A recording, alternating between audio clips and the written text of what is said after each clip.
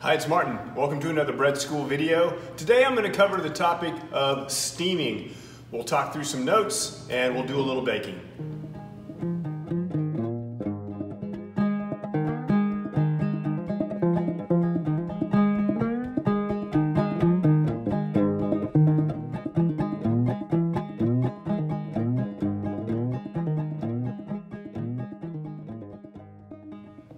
So let's talk through this.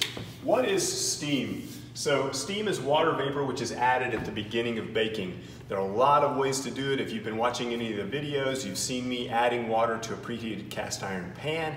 We're going to talk about that aspect of things in just a minute, but I just wanted to clarify what we're talking about here is water vapor which is introduced into the baking chamber at the inception of baking. And it's mostly done with crusty breads. I just want to clarify that. We don't steam uh, breads which have egg wash generally. So, why do we steam?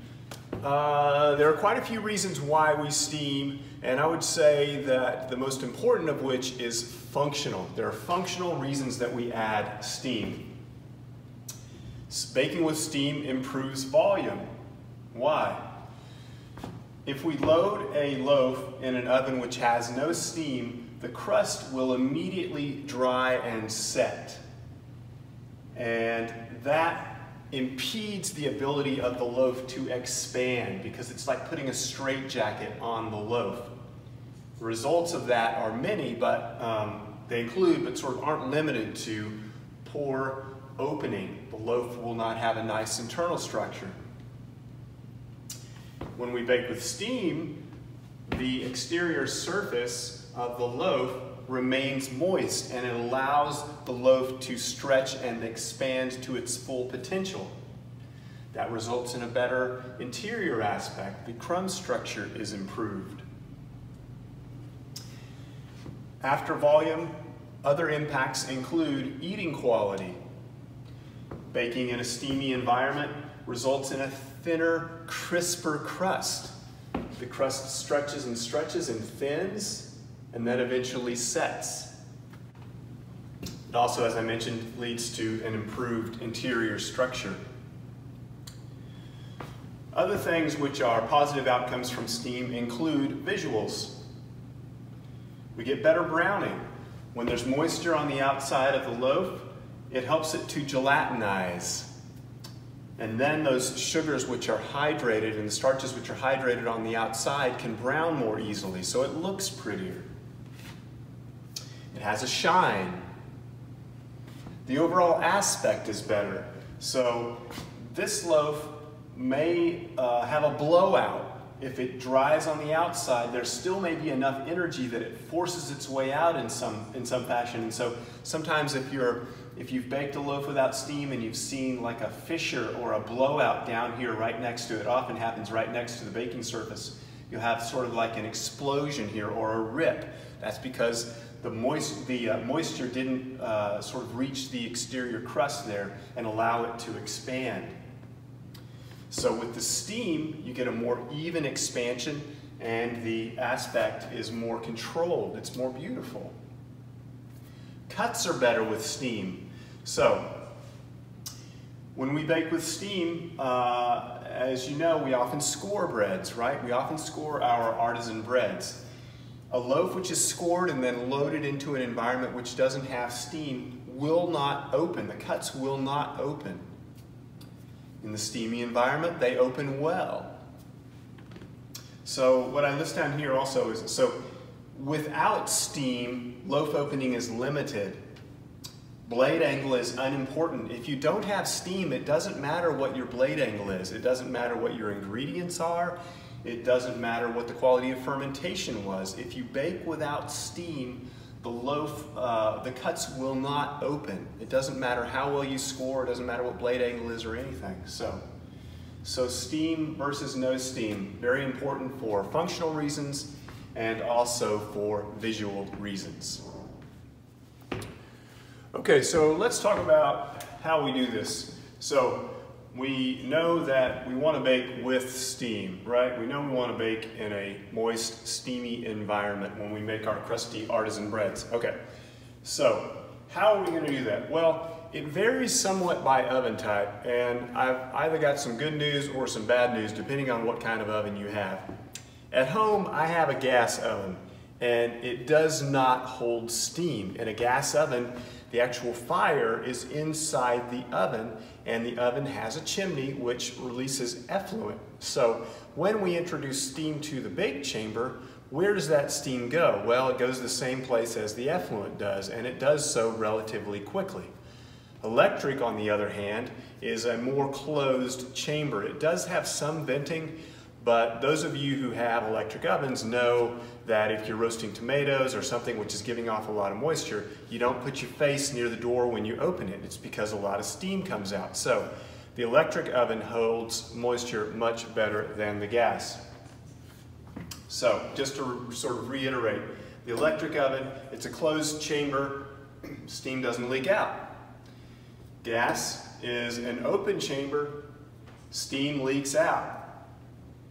So how are we going to address that or what are we going to do in terms of how we bake our bread? So here are a couple thoughts. If you want to steam with an electric oven, I think a cast iron is good enough. A nice cast iron pan, 10 inches across, something like that, um, preheated while you preheat your baking stone or baking steel, whatever it is you're going to bake your bread on. So preheated cast iron pan is usually enough. The other thing you can do is you can use a pan of lava rocks. If you go to your uh, like home supply store, you can buy a bag of lava rocks, rinse them, and then what I do is I go to the thrift store and get an old cake pan, like an old 9 by 13 cake pan. Rinse the rocks, and then preheat those rocks the same way that you would preheat your cast iron pan. And then right before you bake, you pour water on them. When we get to, we're gonna do some baking today, believe it or not. Uh, when we get there, I'll talk about safety a little bit, but for right now, I'm gonna skip that. So, electric oven, you can use a cast iron pan to steam, or you could use a pan of lava rocks, and just make sure that you, uh, that your baking stone or baking steel, uh, which works very well in that system, is preheated, okay? Now, gas. Um, for a gas oven, and like I said, I have a gas oven at home, so most of the bread that I bake at home, which is crusty, I bake inside of a Dutch oven or covered baking sort of system. Um, when I've tried to add steam in that environment, it's so hard and it takes so much to make good bread that I get frustrated.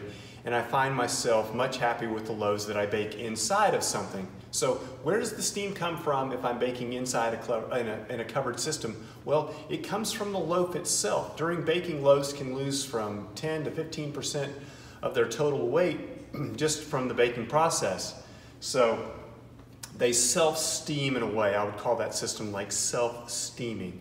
So in my gas oven at home, I prefer to use a cloche, a Dutch oven, or any covered baking system. Now, what about baguettes? Well, I don't have like the baguette baker, I don't have any of those fancy pans. I just have my round Dutch ovens and obviously they don't do well for baguettes. If I want to make baguettes at home, I use this pan of lava rocks setup because that's what gives me the greatest quantity of steam. And then I just sort of roll with the punches and say, well, I'm, I'm not gonna have great steam, so my baguettes may look a little bit matte. They won't have that nice gelatinized crust that we discussed. They're still gonna be delicious. People are going to love them, but uh, I get a little bit frustrated because I like them to be beautiful as well. So I tend not to make a lot of baguettes at home. I make a lot of sourdough loaves and that's okay. And the next oven that I get will probably be an electric bake chamber because it works better, honestly, at home. Okay, there are a couple other ways that you can steam, but I generally don't think they work that well, and let's just talk through some of those. Some people like a baking tray and you just put ice cubes on it. I used to do that some, but the problem is that the baking tray doesn't have much thermal mass. So when you add the ice cubes to it, you get some sizzle for a second, but then it kind of dissipates. And um, it just doesn't produce enough steam. So I don't, I don't think that's a viable way for really producing steam at home. If you've been doing it and it works, then uh, don't change anything on my behalf, but I think that you're gonna get better steam with some of the other methods that I recommend. What about a spray bottle? When I uh, lived in New York City and was trying to figure out how to bake really good bread in my crappy small apartment, uh, I bought all kinds of sprayers trying to introduce as much water into the oven as possible. I'd spray the sidewalls and everything. Um, the problem with that system at home is that we have oven lights which are almost always glass or glass encased and one squirt of water on that light and it will blow. And I've blown, I probably blew two or three of them before I realized that I shouldn't do that. Um, so I don't think that's a safe method uh, or necessarily a viable method for uh, doing it at home. What about just dumping a cup of water on the oven floor? I used to do that too. But what happens is that over time, that floor will buckle and it will eventually fail. It'll rust and then it will fail. So I don't think that that's a solid method either. So I'm gonna say no to baking tray, no to spray bottles, and no to just dumping water on the floor of your oven. I'm sorry.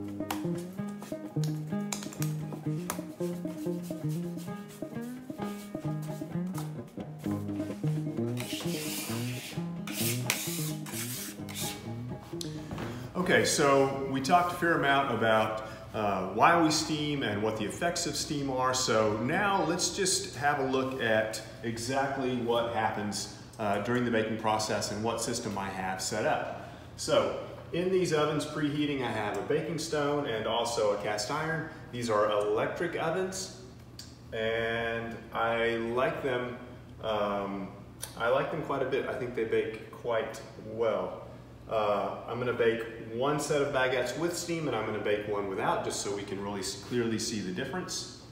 Uh, be careful when you're steaming. Gloves are a good idea. It's also a good idea to protect the glass of your oven if you're new to the game. Uh, if you splatter water on there, it can break, so be cautious. All right, so let's load.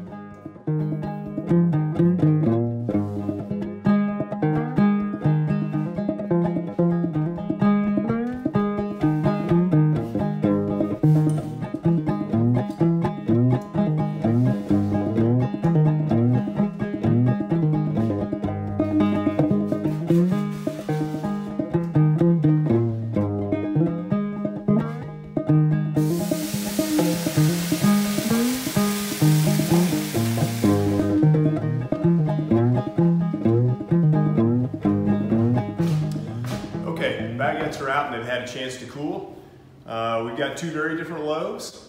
We've got one that was baked without steam and one that was baked with steam. So in my left hand on your right side is the no steam version of the exact same baguette. You can see how the color is lighter, uh, doesn't have an ear, the crust is a little thick. Uh, it doesn't have the same crispness to it. Still gonna taste good, still going to be delicious and the one with steam. A little bit of shine. It browns really well. I like this amount of color. It feels crisper to me and it feels maybe even a little bit lighter for the size. Maybe, maybe I'm making that up. Um, but a remarkably different result based on steam. So I encourage you, if you're not steaming, to begin steaming or to look at your baking systems and see how you might improve uh, the bread that you make. And in the meantime, enjoy the mistakes. Cheers to you and yours. And I'm gonna go cut a baguette and have some.